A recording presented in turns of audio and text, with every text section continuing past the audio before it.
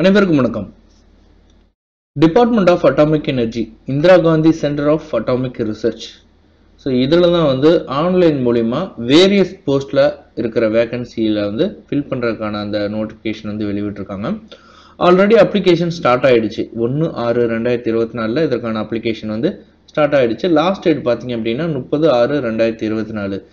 So இந்த வீடியோவில் வந்து எப்படி யார் யாரெல்லாம் அப்ளை பண்ணலாம் என்ன குவாலிஃபிகேஷன் ஏஜ் லிமிட் என்ன என்ன- சேலரி எப்படி செலெக்ஷன் இருக்கும் அப்படிங்கிற கம்ப்ளீட் டீட்டெயில்ஸ் தான் வந்து இந்த வீடியோவில் பார்க்க போகிறோம் வீடியோவை தொடர்ந்து கடைசி வரைக்கும் பாருங்கள் government of India department of atomic energy Indira Gandhi centre of atomic research Kalpakkam. So இங்கே தான் வந்து இந்த வேகன்சி ஃபில் பண்ண போகிறாங்க லாஸ்ட் டேட் முப்பதாறு ரெண்டாயிரத்தி இருபத்தி நாலில் direct recruitment from eligible Indian சிட்டிசன்லேருந்து கேட்டிருக்காங்க. ஸோ இந்த போஸ்ட் எல்லாமே டைரக்ட் ரெக்ரூட்மெண்ட்டை ஃபில் பண்ண போகிறாங்க ஸோ இங்கே வந்து குரூப் ஏ அப்புறம் post code name of the post level of pay matrix initial pay ஸ்டார்டிங்கில் எவ்வளோ இருக்கும் எவ்வளோ vacancy age limit maximum so இங்கே வந்து பார்த்தீங்க அப்படின்னா உங்களுக்கு போஸ்ட் கோடு கொடுத்துருக்காங்க. இது எல்லாமே வந்து உங்களுக்கு அப்ளை பண்ணுறதுக்கு இது தேவைப்படும். இங்கே வந்து சயின்டிஃபிக் ஆஃபீஸர் மெடிக்கல் அதுக்கப்புறம் சயின்டிஃபிக் ஆஃபீஸரில் வந்து நியூக்ளியர் மெடிசன் ஸோ இந்த மாதிரியான அந்த போஸ்ட் கொடுத்துருக்காங்க. இதில் வந்து பன்னிரெண்டு வேகன்சி எழுபத்தெட்டாயிரம் வரைக்கும் இருக்கும். ஒரு வேகன்சி கொடுத்துருக்காங்க. ஐம்பது வயசுக்குள்ளே இருக்கணும். அதே போல் வந்து சாரி இது பன்னிரெண்டு வேகன்சின்னு சொல்லியிருந்தேன். இது வந்து லெவல் பேமெட்ரிக்ஸ் uh, பன்னிரெண்டு. இங்கே தான் வந்து வேகன்சி ஒன்று அடுத்து பார்த்தீங்கன்னா சயின்டிஃபிக் ஆஃபீஸரில் லெவல் டுவெல்ல வந்து ஒன்று ஐம்பது வயசுக்குள்ள. அடுத்து சயின்டிஃபிக் ஆஃபீஸர் டியில் வந்து லெவல் பேமெட்ரிக்ஸ் uh, பார்த்தீங்கன்னா லெவன் இதில் வந்து அறுபத்தி ஏழாயிரத்துலேருந்து ஸ்டார்ட் ஆகுது. ஒரு வேகன்சி நாற்பது ஏஜுக்குள்ளே uh, இருக்கணும் அப்படிங்கிறது. அதே போல் வந்து பார்த்தீங்க அப்படின்னா உங்களுக்கு சயின்டிஃபிக் ஆஃபீஸரில் வந்து வேரியஸ் போஸ்ட் கொடுத்துருக்காங்க. General surgery nuclear medicine ENT paediatrics radiology so இந்த மாதிரி கொடுத்துருக்காங்க. ஸோ அடுத்தது பார்த்தீங்க அப்படின்னா டெக்னிக்கல் ஆஃபீஸர் ஃபிசியோதெரபி இதில் வந்து லெவல் எயிட்டில் வந்து நாற்பத்தி ஏழாயிரத்துலேருந்து ஸ்டார்ட் ஆகுது ஒரு வேகன்சி ஐம்பது வயசுக்குள்ள இருக்கணும். சயின்டிஃபிக் அசிஸ்டன்ட் சியில் வந்து ஏழு வே- ஏழு லெவல் மேட்ரிக்ஸ் பார்த்தீங்கன்னா ஏழு ஒரு வேகன்சி முப்பது வயசுக்குள்ள. நர்ஸில் வந்து பார்த்தீங்க அப்படின்னா ஏழு நாற்பத்தி நாலாயிரம் வரைக்கும் ஸ்டார்ட் ஆகுது இனிஷியல் பேவா இருபத்தேழு வேகன்சி இதில் கொடுத்துருக்காங்க முப்பது வயசுக்குள்ள இருக்கிறவங்க.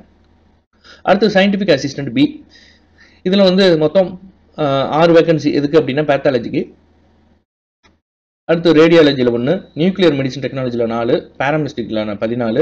அடுத்து டெக்னீஷியனில் வந்து ஆர்த்தோபியடிக் டெக்னீஷியனில் ஒன்று இசிஜி டெக்னீஷியன் கார்டியோ இது டெக்னீஷியன் இதில் ஒன்றுன்னு சொல்லி டோட்டலாக வந்து தொண்ணூற்றி ஒரு வேகன்சி வந்து இந்த கல்பாக்கம் அட்டாமிக் ரிசர்ச் சென்டருக்குள்ள இதில் வந்து ஃபில் பண்ண போகிறாங்க ஸோ உங்களுக்கு வந்து இங்கே detailed of post advice for the direct ரெக்ரூட்மெண்ட்ல வந்து உங்களுக்கு ஒவ்வொரு போஸ்ட்டுக்கும் என்னென்ன குவாலிஃபிகேஷன் இருக்கணும் இதில் கேட்டகரி வைஸ் எவ்வளோ வேகன்சி அப்படிங்கிற டீடைல்ஸ் தான் வந்து கொடுத்துருக்காங்க.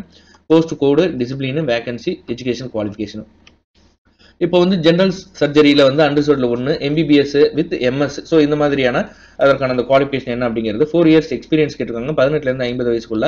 எழுபத்தெட்டாயிரத்துலேருந்து உங்களுக்கு ஸ்டார்ட் ஆகுது. அது கூட வந்து அலோன்சஸ் பார்த்தீங்க அப்படின்னா உங்களுக்கு சென்ட்ரல் கவர்மெண்ட்டில் இருக்கிற சர்வெண்ட்டில் கொடுக்குற அந்த அலோன்ஸ் எல்லாமே உங்களுக்கு வரும் அப்படிங்கிறது தான் அடுத்து scientific officer D medical group A போஸ்ட்டில் வந்து பார்த்தீங்க அப்படின்னா உங்களுக்கு டென்டல் இருக்குது அனஸ்தியா இருக்குது ophthalmology gynaecology radiology paediatrics ENT nuclear medicine general சர்ஜரின்னு சொல்லி இது எல்லாத்துக்குமே வந்து கேட்டகரி வைஸ் எவ்வளோ வேகன்சி இதுக்கு என்னென்ன குவாலிஃபிகேஷன் எக்ஸ்பீரியன்ஸ் எவ்வளோ இருக்கணும் அப்படிங்கிறது கொடுத்துருக்காங்க. சயின்டிஃபிக் ஆஃபீஸர் சி இதில் வந்து பார்த்தீங்க அப்படின்னா ஒரு வேகன்சி பதினஞ்சு வேகன்சி அதில் வந்து பார்த்தீங்க அப்படின்னா அண்டர்சோடுக்கு பத்து ஓபிசியில் ரெண்டு எஸ்சியில் ஒன்று எஸ்டியில் ஒன்று இதுக்கு வந்து எம்பிபிஎஸ் முடிச்சிருக்கணும். ஒன் இயர் எக்ஸ்பீரியன்ஸு பதினெட்டுலேருந்து முப்பத்தஞ்சு வயசுக்குள்ள ஐம்பத்தி ஆறாயிரத்துலேருந்து உங்களுக்கு ஸ்டார்ட் ஆகுது. அடுத்தது பார்த்தீங்கன்னா டெக்னிக்கல் ஆஃபீஸர் பி இதுலேயும் வந்து உங்களுக்கு ஒரு வேகன்சி பிஜி டிகிரி பிசியோதெரபியில் வந்து மினிமம் ஃபிஃப்டி பர்சன்ட் மார்க்கில் வந்து இருக்கணும் அப்படிங்கிறது தான் ஏஜ் லிமிட் பதினெட்டுலேருந்து முப்பது வயசுல நாற்பத்தி ஏழாயிரத்துலேருந்து ஸ்டார்ட் ஆகுது.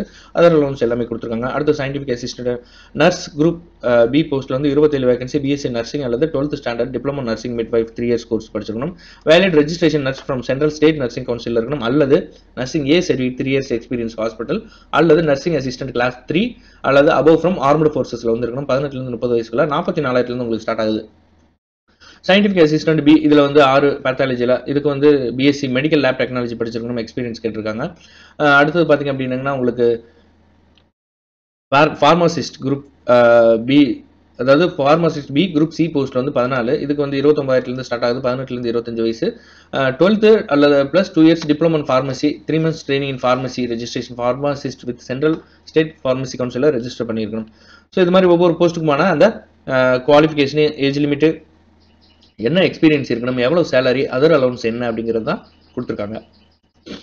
மெத்தட் ஆஃப் செலெக்ஷன் இங்கே வந்து போஸ்ட் கோட் கொடுத்துருக்காங்களே இந்த போஸ்ட் கோடில் இருக்கிற அந்த வேகன்சி எல்லாமே வந்து எப்படி செலக்ட் பண்ணுவாங்கன்னு பார்த்தீங்க அப்படின்னா பர்ஃபார்மன்ஸ் இந்த பர்சனல் இன்டர்வியூ மூலயமா வந்து உங்களுக்கு இது செலக்ட் பண்ண போகிறாங்க personal interview by conducting screen test for the eligible கேண்டிடேட்டுக்கு வந்து seventy five multiple choice question இருக்கும் வித் நெகட்டிவ் மார்க்கோட த்ரீ மார்க் வந்து கொடுக்குறாங்க ஒவ்வொரு கரெக்ட் ஆன்சருக்கும் ஒரு மார்க் வந்து இன்கரெக்ட் ஆன்சருக்கு டிடெக்ட் பண்ணுவாங்க.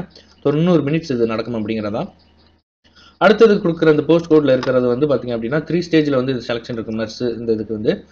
இதில் வந்து பார்த்தீங்க அப்படின்னா ப்ரிமினரி டெஸ்ட் இருக்கும் அட்வான்ஸ்டு டெஸ்ட்டு அப்புறம் ட்ரேட் ஸ்கில் டெஸ்ட் இதெல்லாம் இருக்கும். ப்ரிமினரி டெஸ்ட்டில் என்னென்ன இருக்கும் எவ்வளோ கொஸ்டின்ஸ் இதில் கேட்பாங்க நெகட்டிவ் மார்க் என்ன அப்படிங்கிற டீட்டெயில்ஸ் கொடுத்துருக்காங்க.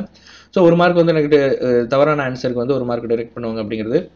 ஃபார்ட்டி பர்சன்ட் ஜென்ரல் கேட்டகரியில் இருக்கிறவங்க வந்து எடுக்கணும். தேர்ட்டி பர்சன்ட் வந்து அதுக்கு கீழே இருக்கிறவங்க வந்து எடுத்தால் போதும் அப்படிங்கிறதான் அடுத்தது பார்த்தீங்க அப்படின்னா ரிசர்வ்டு கேட்டகரிஸ் இருக்கிறவங்களுக்கு வந்து தேர்ட்டி பர்சன்ட் சொல்லியிருக்காங்க. ஸோ அட்வான்ஸ்டு டெஸ்ட்டில் வந்து உங்களுக்கு என்னென்ன இருக்கும் அப்படிங்கிறது தான் வந்து இதில் கொடுத்துருக்காங்க. ஸ்கில் டெஸ்ட்டில் என்ன இருக்கும் அப்படிங்கிறது.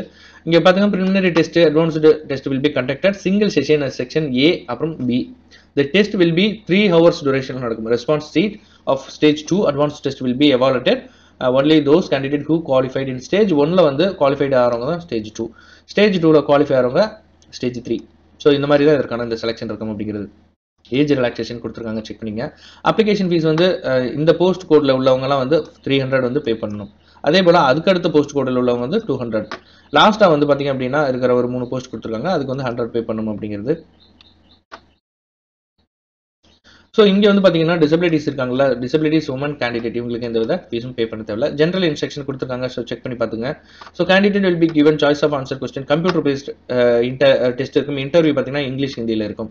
ஸோ இங்கே இந்த போஸ்ட் எல்லாமே கொடுத்துருக்காங்க. இது எல்லாமே நீங்கள் ஸ்பீட் அல்லது ரெஜிஸ்டர் போஸ்ட்டில் வந்து எட்டு ஏழு ரெண்டாயிரத்தி இருபத்தி நாலுக்குள்ள நீங்கள் uh, அனுப்பணும் அப்படிங்கிறது தான். அதாவது எதுக்காக இந்த எட்டு ஏழு ரெண்டாயிரத்தி இருபத்தி நாலு அப்படிங்கிறது பார்த்தீங்க அப்படின்னா selection process for the post of scientific officer scientific officer E D scientific officer C technical officer B அப்புறம் சயின்டிஃபிக் அசிஸ்டன்ட் இதுக்கு எல்லாமே பேஸ்ட் ஆன் பர்சனல் இன்டர்வியூ இவங்க எல்லாமே. ஸோ இதுக்கு அப்ளை பண்ணவங்க உங்களுடைய டாக்குமெண்ட்ஸ் பிரிண்ட் அவுட் எடுத்து ஆன்லைனில் நீங்கள் அப்ளை பண்ணுற டாக்குமெண்ட்ஸை பிரிண்ட் அவுட் எடுத்து அது கூட self attested copy necessary educational experience other relevant documents எல்லாத்தையும் நீங்கள் அட்ரஸ் பண்ணி கீழே கொடுத்துருக்கிற இந்த அட்ரஸுக்கு தான் வந்து போஸ்டர் அதாவது ஸ்பீட் அல்லது ரெஜிஸ்டர் போஸ்ட்டில் எட்டு ஏழு ரெண்டாயிரத்தி இருபத்தி நாலுக்குள்ள நீங்கள் அனுப்பணும். ஆன்லைனில் அப்ளை பண்ணுறதுக்கான லாஸ்ட் டேட் தான் வந்து முப்பது ஆறு ரெண்டாயிரத்தி இருபத்தி நாலு. ஸோ அதை கன்ஃபியூஸ் பண்ணிக்காதீங்க. முப்பது ஆறு ரெண்டாயிரத்தி இருபத்தி நாலு அப்ளை பண்ணி அதை பிரிண்ட் அவுட் எடுக்கிறீங்க. பிரிண்ட் அவுட் எடுத்து இந்த கொடுத்துருக்கிற அட்ரஸில் எட்டு ஏழு அந்த டேட்டுக்குள்ளே வந்து நீங்கள் ஸ்பீட் போஸ்ட்டில் அந்த அப்ளிகேஷன் ஃபார்மு அது கூட நீங்கள் என்னென்ன டாக்குமெண்ட்ஸ் வச்சீங்க அது எல்லாமே வந்து நீங்கள் அனுப்பணும் அப்படிங்கிறத வந்து இதில் கொடுத்துருக்காங்க. ஸோ என்வெலப்பில் வந்து நீங்கள் மென்ஷன் பண்ணணும் அப்ளிகேஷன் ஃபார் த போஸ்ட் எந்த போஸ்ட்டுக்கு அப்ளை பண்ண போறீங்க அப்படிங்கிறது. ஸோ uh, அது கூட வந்து அந்த ஹார்ட் காப்பி எல்லாமே நீங்கள் வைக்கணும். அது இல்லை அப்படின்னா கண்டிப்பாக வந்து uh, ரிஜெக்ட் பண்ணுவாங்க. ஸோ நோட்டிஃபிகேஷனை ஒரு டைம் ரெண்டு டைம் ஃபுல்லாக கிளியராக படிச்சுட்டு அதுக்கப்புறம் நீங்கள் அதை ஃபாலோ பண்ணி நீங்கள் அப்ளை பண்ணுங்கள் ஸோ கேண்டிடேட் வந்து அந்த முப்பது அந்த க்ளோசிங் டேட்டுக்குள்ளே இருக்கிற குவாலிஃபிகேஷன் எல்லாமே இருக்கணும் அப்படிங்கிறத கொடுத்துருக்காங்க. So all qualification acquired by the candidate should recognised by the regulatory authorities in in India so இது எல்லாமே வந்து உங்களுக்கு கிளியராக கொடுத்துருக்காங்க. ஸோ செக் பண்ணி பார்த்துங்க அதுக்கப்புறம் பார்த்தீங்க அப்படின்னா உங்களுக்கு இங்கே வேறு என்னென்னா நோ அப்ஜெக்ஷன் சர்டிஃபிகேட் கொடுத்துருக்காங்க. ஸோ கவர்மெண்ட் செக்டரில் இருந்தால் no objection certificate medical fit கொடுக்கணும். ஸோ இந்த செலக்டட் கேண்டிடேட் வந்து ஒர்க் பார்த்தீங்கன்னா round the clock RTC shift wise இருக்கும். கால் டியூட்டி அவுட் சைடு இந்த மாதிரி தான் இருக்கும் உங்களுக்கு. அடுத்து சென்டர் ஆஃப் ஆன்லைன் எக்ஸாமினேஷன் பார்த்தீங்கன்னா தமிழ்நாட்டில் வந்து சென்னை கோயம்புத்தூர் மதுரை மூணு பிளேஸில் வந்து கொடுத்துருக்காங்க. Screening test personal interview trade skill test எல்லாமே வந்து கல்பாக்கத்தில் தான் நடக்கும். அல்லது எனி அதர் பிளேஸ் வந்து ஐஜிசிஆர் இவங்க டிசைட் பண்ணுவாங்க. ஷெடியூல் ஆஃப் ஸ்க்ரீனிங் டெஸ்ட் இது எல்லாமே வந்து உங்களுக்கு தனியாக இந்த வெப்சைட்டில் கொடுப்பாங்க அப்படிங்கிறது. கேன்சலேஷன் ஆஃப் த கேண்டிடேட்ஸ் என்ன இருக்குது அப்படிங்கிறது. ஸோ அதுக்கப்புறம் முக்கியமான விஷயம் என்னென்னா எப்படி அப்ளை பண்ணணும் அப்படிங்கிறது. ஸோ உங்களுக்கு நம்ம முதலே சொன்ன மாதிரி முப்பது ஆறு ரெண்டாயிரத்தி இருபத்தி நாலில் லாஸ்ட் டேட்டு இதற்கான ஆன்லைன் அப்ளிகேஷன் எல்லாமே வந்து இந்த வெப்சைட்டில் உங்களுக்கு கொடுத்துருக்காங்க. ஆன்லைன் மூலிமா மட்டும்தான் நீங்கள் அப்ளை பண்ணணும். அப்ளை பண்ணுறதுக்கு முன்னாடி தேவையான என்னென்ன டாக்குமெண்ட்ஸ் கேட்டிருக்காங்க அப்படிங்கிறத நீங்கள் பார்த்துட்டு அதை ஃபுல்லாகவே நீங்கள் செக் பண்ணி வச்சுங்க. உங்களுடைய பாஸ்போர்ட் சைஸ் ஃபோட்டோ அப்புறம் சிக்னேச்சரு எஜுகேஷனல் டாக்குமெண்ட்ஸு இது எல்லாமே. Valid email ID mobile number வச்சுங்க. ஃபர்தர் கம்யூனிகேஷன் எல்லாமே அதில் தான் உங்களுக்கு வரும். உங்களுக்கான எக்ஸாமுக்கான டேட்டு டைம் இதை எல்லாமே உங்களுக்கு அட்மிட் கார்டில் கொடுப்பாங்க. சிக்னேச்சர் ஃபோட்டோ எல்லாம் கிளியராக இருக்கிற மாதிரி வச்சுங்க. ஸோ பிளர்டாக இருந்தது அப்படின்னா கண்டிப்பாக ரிஜெக்ட் பண்ணுற சான்சஸ் இருக்குது ஸோ அதே போல் instruction for the uploading photo signature வந்து எந்த சைஸில் என்ன ஃபார்மேட்டில் இருக்கணும் அப்படிங்கிறது ஸோ உங்களுக்கு இதில் இது ஏதாவது கிளாரிஃபிகேஷன் வேணும் அப்படின்னா ஃபோன் நம்பர் கொடுத்துருக்காங்க. ஒம்பதரை மணிலேருந்து சாயங்காலம் ஆறரை மணிக்குள்ளே நீங்கள் கால் பண்ணி கேட்டுக்கலாம் மண்டே டு ஃப்ரைடேயில் அல்லது இமெயில் ஐடியும் கொடுத்துருக்காங்க. செக் பண்ணி பார்த்துங்க டேட் ஆஃப் பர்த் உங்களுடைய ஸ்கூல் சர்டிஃபிகேட்டில் இருக்கிற மாதிரி இருக்கணும். எல்லாம் சப் சப்மிட் பண்ணி முடிச்சதுக்கப்புறம் ஒரு பிரிண்ட் அவுட் எடுத்து வச்சுக்கோங்க. உங்களுடைய ஃபியூச்சர் ரெஃபரன்ஸுக்கு இன்டர்வியூக்கு போகிறப்போ அல்லது டாக்குமெண்ட் வெரிஃபிகேஷனுக்கு வந்து இது தேவைப்படும். ஸோ நம்ம இதுக்கு முன்னாடி சொன்ன மாதிரி தான் இருக்கிற அந்த போ அவங்க என்ன போஸ்ட்டுக்கு அப்ளை பண்ண போகிறீங்க அப்படிங்கிறத வந்து நீங்கள் இந்த அட்ரஸ்க்கு என்வலப்பில் நீங்கள் அனுப்பணும் அப்படிங்கிறத கொடுத்துருக்காங்க. அடுத்து பார்த்தீங்கன்னா certificate to submitted original and one set of self attested copy so document verification போகிறப்ப வந்து ஒரிஜினல் அப்புறம் வந்து ஒரு set self attested photo copy எடுத்துகிட்டு போகணும் அப்படிங்கிறதான் கேட்டிருக்காங்க. ஸோ டாக்குமெண்ட் டு பி ப்ரொசீவ் அதாவது ப்ரொடியூஸ்டு என்னன்னு பார்த்தீங்கன்னா educational qualification supported mark sheet proof of படித்ததுக்கான proof closing date இது எல்லாமே valid date of birth proof SC ST certificate so இது எல்லாமே ஓபிசி இருந்த அதற்கான certificate no objection certificate experience certificate any other documents அதை இருந்தது சர்டிஃபிகேட் இருந்துச்சுன்னா எல்லாமே நீங்கள் எடுத்துகிட்டு போகணும் அப்படிங்கிறது. ஸோ அப்ளை பண்ணுறதுக்கு முன்னாடி வந்து நீங்கள் இந்த இன்ஸ்ட்ரக்ஷனை ஃபுல்லாக வந்து ஃபாலோ பண்ணிக்கிங்க. அதை பேஸ் பண்ணி தான் வந்து உங்களுக்கான செலெக்ஷன் எல்லாமே இருக்கும் அப்படிங்கிறது தான் இதில் கொடுத்துருக்காங்க. உங்களுக்கு இதில் ஏதாவது ஹெல்ப் தேவைப்பிடிச்சிருந்துச்சுன்னா ஹெல்ப் டெஸ்க் நம்பர் கொடுத்துருக்காங்க இமெயில் ஐடி கொடுத்துருக்காங்க செக் பண்ணி பார்த்துக்குங்க. அதுக்கப்புறம் பார்த்தீங்கன்னா காஸ்டன் நோட்டீஸ் ரெக்கார்டிங் ரெக்யூர்மெண்ட்டியான ஒரு பதிவு இந்த ரெக்யூர்மெண்ட்டில் என்னென்ன இருக்கும் அப்படிங்கிறது பார்த்தீங்க அப்படின்னா இந்த ஃபேக் இமெயிலு எஸ்எம்எஸ் இந்த மாதிரிலாம் வரும். ஸோ அதுலேருந்துலாம் நீங்கள் நம்ப வேணாம். அதாவது இந்த ரெக்யூர்மெண்ட்டை பொறுத்த வரைக்கும் எல்லாமே வந்து இந்த வெப்சைட்டில் தான் கொடுப்பாங்க அஃபிஷியல் வெப்சைட்டில் ஸோ அதை தான் இங்கே வந்து கொடுத்துருக்காங்க. ஸோ ரெகுலராக அந்த வெப்சைட்டை நீங்கள் செக் பண்ணி பார்த்துக்குங்க. ஸோ வெப்சைட்டில் கொடுக்குற இன்ஃபர்மேஷன் தான் கரெக்டானது மற்றபடி இந்த சோசியல் மீடியா இமெயிலு இந்த மாதிரி வர்றதெல்லாம் நீங்கள் நம்ப வேணாம். ஸோ அந்த மாதிரி உங்களுக்கு யாராவது உங்களை உங்களுக்கு காண்டாக்ட் பண்ணாங்க அப்படின்னாங்கன்னா அதுக்கான அந்த இமெயில் ஐடி கொடுத்துருக்காங்க.